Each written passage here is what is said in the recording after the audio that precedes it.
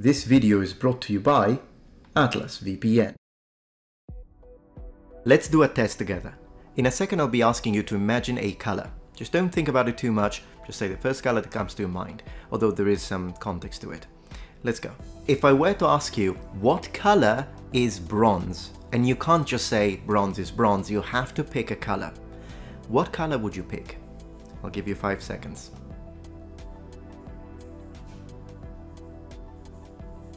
Okay, so did you say green, red, brown, yellow?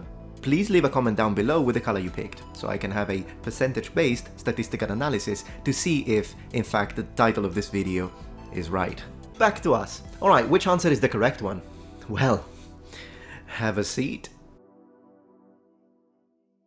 Hello Noble Ones, welcome back to my channel, this is the Metatron speaking and on this series we talk about the popular views of the past and correct them when they are wrong. And we do that through the material evidence, history, ancient languages, science and logic. In the previous episode we discussed polychromy in the classical period, specifically talking about statuary and architecture, you'll find a link in the description below, check it out. Today we're talking bronze. So bronze is an essential element of our imagination when we think of Spartan warriors, Athenians, Roman Republican military, also statues, we think of shields, weapons, swords, spears, but what color is it?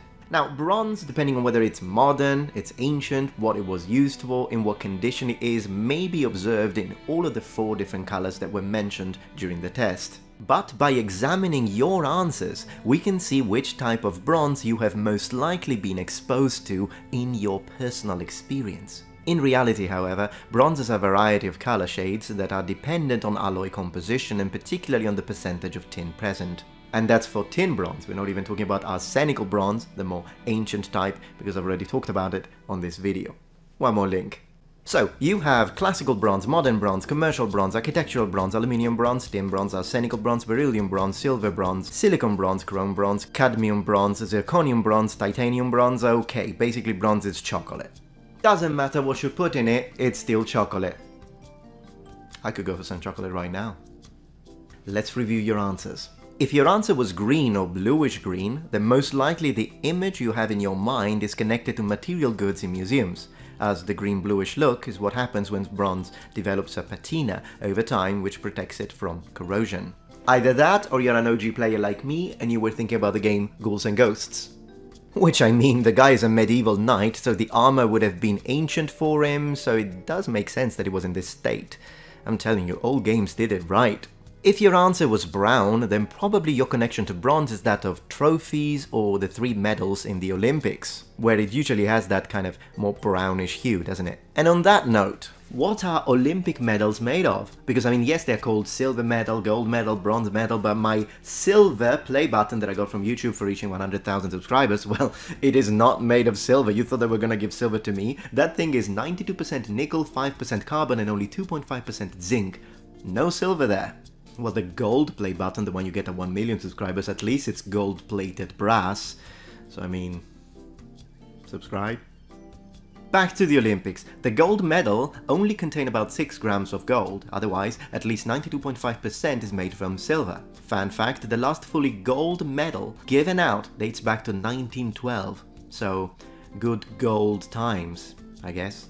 The silver medal, however, is made from 100% silver. The bronze medal, wait for it, is made of red brass, which is 95% copper and 5% zinc. You lied to me! Bronze medal! And it's not bronze! You don't lie to a Sicilian, you know? I'm out of here.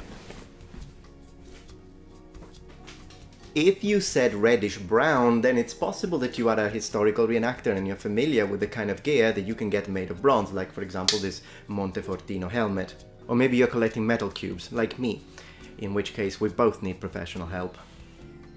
But what if your answer is actually yellow? If your answer was yellow, then it means you are more familiar with both high-end museum quality replicas of classical period, or perhaps you've seen a lot of images from history and archaeology books where usually bronze is represented with this almost gold hue. Did you ever notice that? Did you? Either that, or you play video games such as Assassin's Creed or Conan Exile, where bronze is exactly that. Yellow. Look at that, I'm absolutely in love with bronze fine metal work. I mean, give me a bronze sword over any sports car.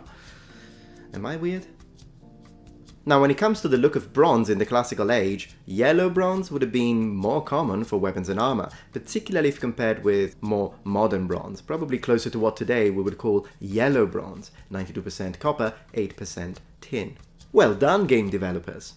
But the reality is that there isn't one size fits all answer, and it would be a very much of a case by case scenario, as the physical and mechanical properties of the bronze, as well as its surface color, would evolve and change according to its composition, and the proportions of copper and tin varied widely as demonstrated by the data accrued through hundreds and hundreds of period specimens through physiochemical analyses based on archaeometric methodologies, such as XRF spectrometry and XRF imaging in order to establish the chemical composition of ancient alloys. Now, if you're like me and you like to surf the internet looking for interesting historical information, it's a great idea to do it in safety, which is why you should totally use today's sponsor, Atlas VPN. A VPN is a virtual private network that makes all of your internet traffic travel through an encrypted tunnel, and this way it protects you from spying, public Wi-Fi dangers, it hides your IP address, and online activities. Atlas VPN is a great choice because it was developed by cyber security specialists, and among other things, it gives you access to the Data Breach Monitor, which is a security feature designed to track any data breaches related to your online account, automatically scanning any leaked information. But another add-on through Atlas VPN is the fact that you can use Netflix from any countries regardless of where you are. So let's say that you wanted to watch a show that is only available in the UK but you live in America. No problem, just change your country through the VPN and boom, access granted. I always have Atlas VPN active on my machine, so that is because one account lets you use multiple devices. I personally really like Atlas VPN not only because it's a great choice, but also because it's really affordable, and that links to today's special offer. The summer deal for protection, that's $1.79 a month for 3 years plus 4 months for free. So if you've been considering getting a VPN but you weren't sure about the prices, then now is the time. And don't forget to click the link in the description. That's $1.79 a month for 3 years plus 4 months for free. Keep in mind that this is a time limited offer, so be quick and click the link in the description. And big thanks to Atlas VPN for sponsoring my video.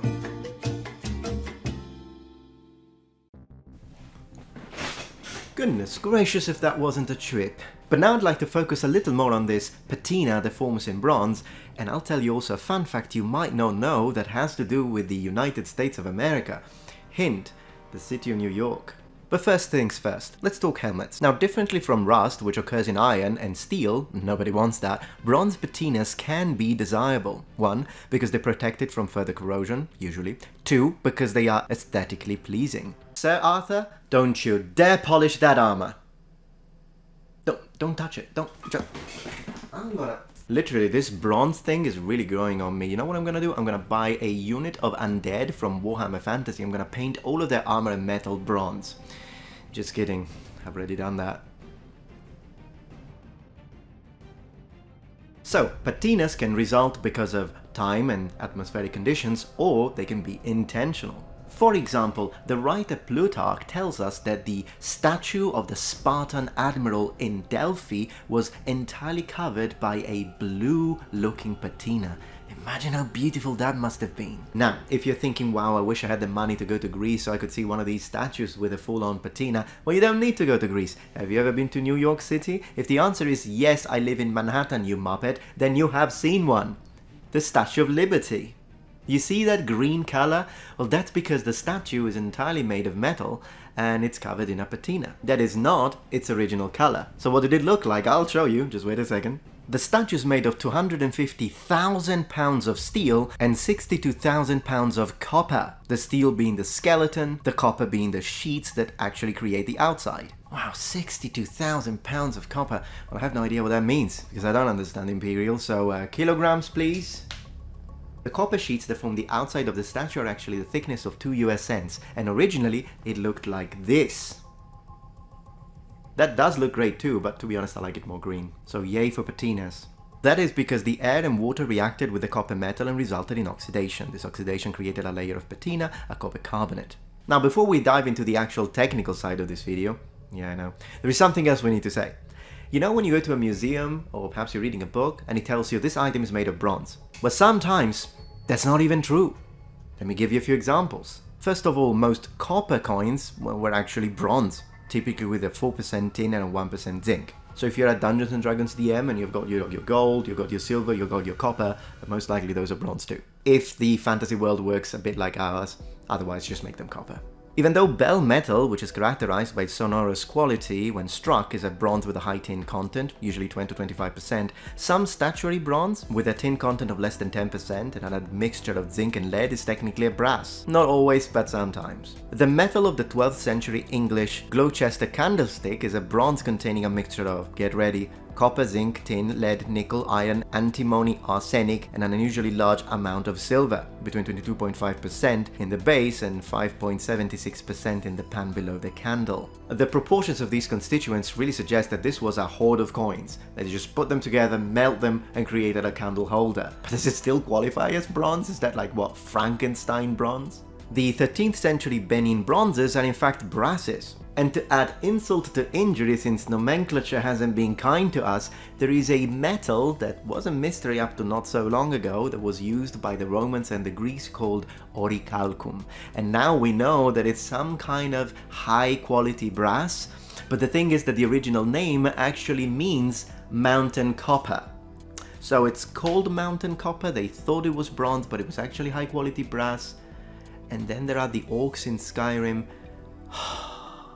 The colors that you may obtain from all of these different alloys cover a wide spectrum. Green, blue, red, yellow, brown, black. To be more precise, we could say that a system of color matching is required in order to discuss color in three dimensions, with the three components being hue, value for lightness, and chroma for color strength. The inclusion of lead doesn't seem to influence the final result when it comes to the color of the alloy that is achieved, in the sense that it only seems to darken the color a little bit. What really makes the difference is the quantity of tin. A low quantity of tin will result into a redder bronze, and a high quantity of tin will result into a yellow bronze usually between the 9 to 15%, will result in a yellow bronze. Now of course looking at extant examples is a great way to have an indication or an idea of what these elements look like and even when they are fully covered in a patina you can still sometimes see a little bit of what the base color underneath it was in ancient times and of course you have to imagine it probably polished in a more lustrous form. However, the appreciation and identification of the original chromatic varieties and qualities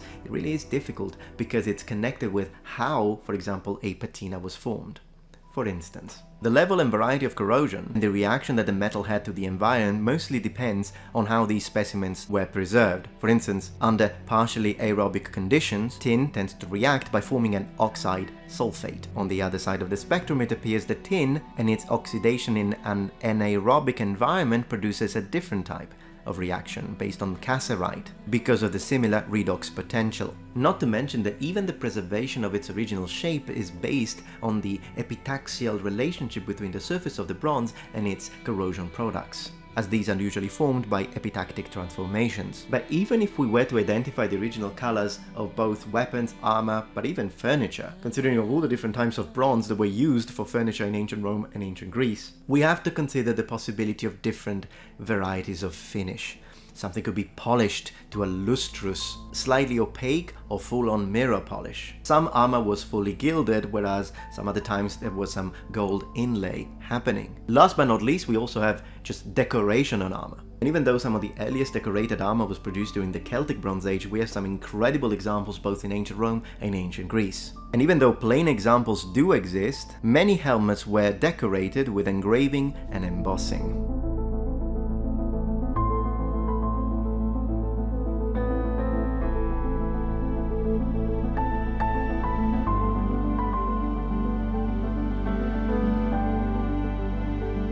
Now did you know that bronze patinas can play with the light? Some fine translucent patina let in light and reflect upon contact with the surface of the bronze.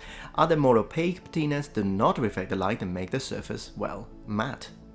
So tin is usually added to improve the castability of the alloy by lowering the melting point and hardening bronze as a result. Lead can also be added to increase the castability, although usually it's not necessary to exceed 5%, otherwise it might embrittle the alloy, due to what is called the liquation phenomenon. And since we are talking about so many different kinds of bronze, I need to mention Corinthian bronze, which was a mixture of copper, silver, and even some gold. Corinthian bronze without a patina seems to have some sort of reddish color, but it was presumably patinated in antiquity to achieve different color variations, from golden to black.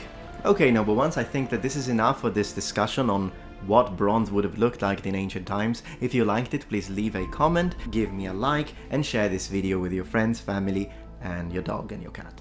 As always, don't forget to click the link in the description below to take advantage of the amazing offer by Atlas VPN. Thank you very much for watching and remember, the Metatron has spread his wings. Goodbye.